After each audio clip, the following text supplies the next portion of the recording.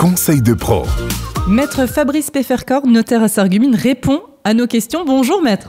Bonjour. Ma première question, c'est est-on obligé de se rendre chez un notaire pour régler une succession? Pas systématiquement, mais tout va dépendre de la taille de la succession. En présence d'une succession qu'on pourrait appeler petite avec euh, euh, peu de valeur, pas d'immobilier, les gens pourront très bien se débrouiller et régler entièrement leur succession sans avoir recours à un notaire. En revanche, à partir du moment où on leur dira pour tel aspect, pour telle démarche, désolé, euh, il faut voir un notaire, eh ben, ils se rendront chez leur notaire pour régler la succession.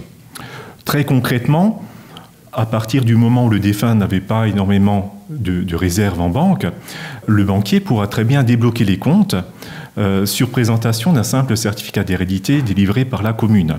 C'est jusqu'à à peu près une somme de 5 335 euros, hein, anciennement 35 000 francs.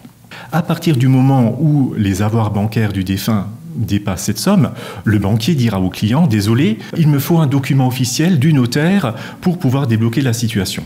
Le notaire établira euh, un acte permettant d'avoir un certificat d'hérédité et sur la base de ce document, les clients pourront effectivement faire leur démarche bancaire. Euh, pareillement, dès lors que le défunt était propriétaire de biens euh, immobiliers, que l'on veuille vendre, partager ou ne serait-ce que inscrire les biens au nom des héritiers, cette démarche ne pourra pas être faite sans avoir un certificat d'hérédité qu'on obtient en passant voir le notaire.